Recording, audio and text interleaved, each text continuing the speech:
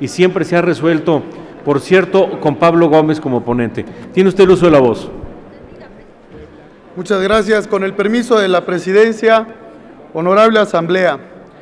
La iniciativa de reforma a distintas disposiciones de la Ley Orgánica de la Administración Pública Federal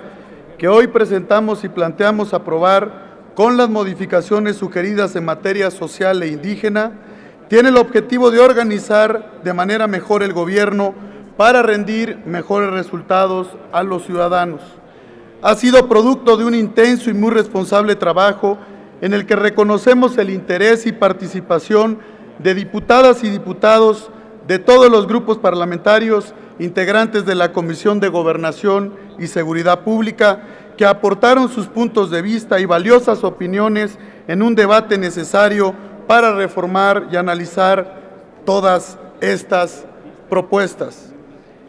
Es una reforma que el grupo parlamentario del PRI ha hecho suya, porque reconoce la necesidad de que al inicio de un nuevo gobierno, el próximo primero de diciembre, es indispensable transformar el diseño institucional y administrativo para cumplir con los compromisos de conducir un cambio con rumbo y tener un gobierno y un Estado eficaz. Entendemos claramente, y así lo hemos manifestado en el seno de las comisiones dictaminadoras, el loable propósito de adecuar el marco de atribuciones de algunas dependencias del aparato administrativo para que el gobierno de la República pueda contar con instrumentos legales y administrativos que le permitan aplicar sus nuevas políticas públicas y gobernar con eficacia.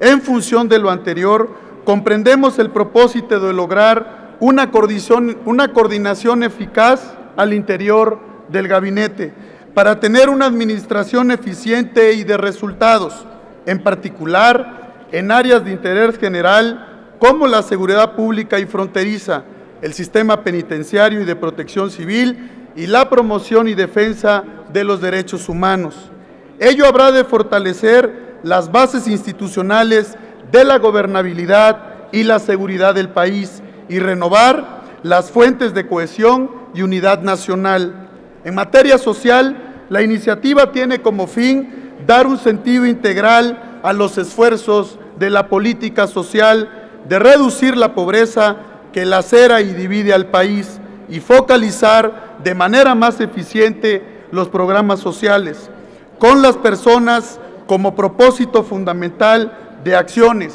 para así prevenir y eliminar la discriminación y fortalecer la inclusión y la cohesión social. A este respecto, se ha atendido la preocupación de los grupos parlamentarios y organizaciones civiles por la propuesta de sectorización del Instituto Nacional de las Mujeres y de la Comisión Nacional de los Pueblos Indígenas y acordado que en ambas entidades conserven su estatus en los términos actuales.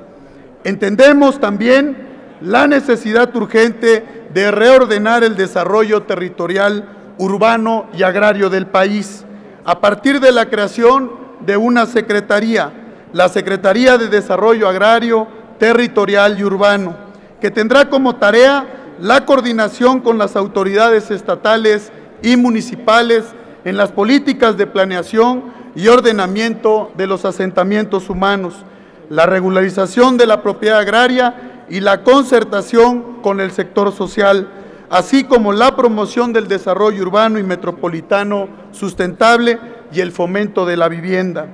Con el fin de lograr un nuevo sistema de control gubernamental, se propone crear unidades de auditoría preventiva, lo que implica la desaparición de la actual Secretaría de la, de la Función Pública y la distribución de facultades en distintas estructuras y órganos, principalmente en la Secretaría de Hacienda y Crédito Público. Se trata de instrumentar una concepción moderna y honesta de la administración pública, con suficientes órganos de control y facultades de investigación y sanción, no para la burocratización, sino para la rendición de cuentas y el ejercicio transparente del gobierno. Finalmente, se propone el ordenamiento legal de la Oficina de la Presidencia de la República como unidad integrante de la Administración Pública Centralizada y una instancia de apoyo técnico y asesoría del titular del Ejecutivo Federal en la instrumentación de políticas públicas y otras funciones prioritarias que se le asignen. Compañeros legisladores, hemos hecho uso de la política para construir acuerdos en torno a esta relevante reforma administrativa.